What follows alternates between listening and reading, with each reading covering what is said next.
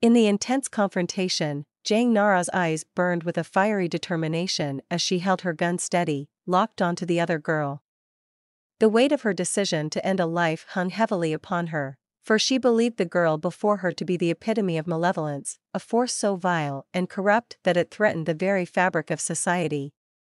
Jang Nara's heart pounded in her chest as she contemplated the magnitude of her actions, convinced that eliminating this person was a necessary act for the greater good, but little did she know that behind the scenes, the tables were turning.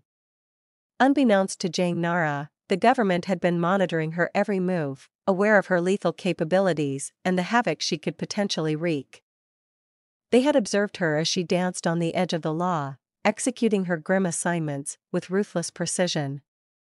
Yet, rather than eliminating her, the government had been biding their time, carefully strategizing how to neutralize this formidable weapon. The truth was, Jang Nara's proficiency as a killer had not gone unnoticed. The government recognized her unparalleled skills and sought to harness them for their own clandestine operations. They had monitored her every move, collecting invaluable data on her techniques, her motivations, and her targets. However, as Jang Nara reached the zenith of her vendetta, the government's agenda took an unexpected turn, caught between her quest for justice and the government's desire for control. Jang Nara found herself in a precarious position. While she believed she was the one pulling the strings, little did she realize that the puppeteer was none other than the government itself. They had been manipulating her, subtly guiding her actions, to serve their hidden agenda.